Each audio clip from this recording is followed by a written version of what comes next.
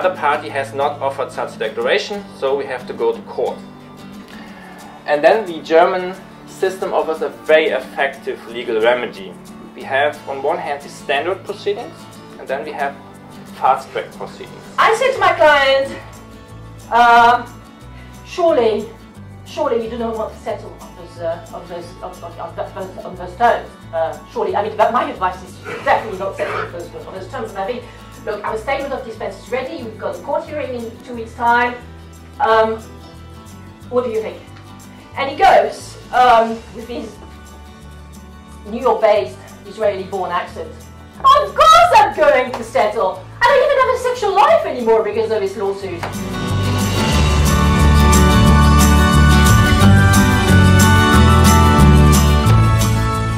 One big difference between uh, Germany and uh, England and Wales is that everything is very centralised. We have one senior court, or one set of senior courts.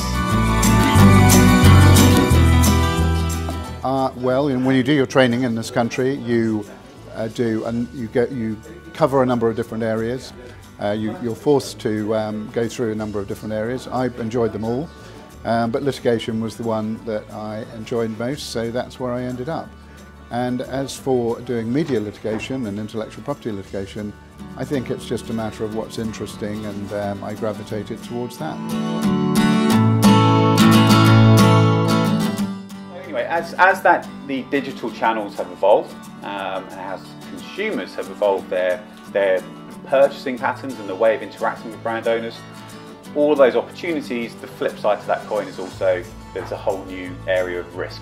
And as pointed out, the, the, the Joseph bag was just slightly differing lines, you know, in terms of the actual um, measurements of the lines or something like that, where quite clearly the, the designs are very similar, for example, then of course uh, the burden on the defendant will be greater.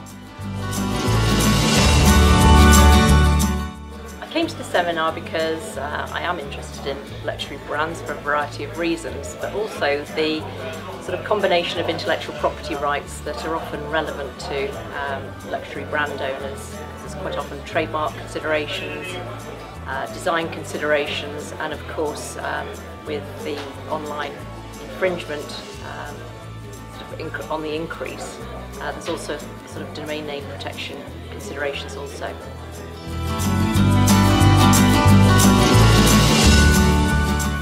And like Claire, I wanted to learn more about um, the overlapping rights because I focus primarily on trademarks, also do designs, um, but less so the domain protection. And so it's always interesting to hear what's happening in that sphere, especially at the moment with the uh, internet expansion. But practically speaking, the applicability of the law. Um, so, for example, the Joseph presentation by Catherine was excellent because she really talked about what is important for them, what they really look out for, and what they sort of practically do to protect their brand. Um, so that was quite interesting from my perspective. So what would I be in another life? Um, I don't know. I, I, I, from what I see, being a top litigator in France is pretty good. So uh, maybe that's the answer.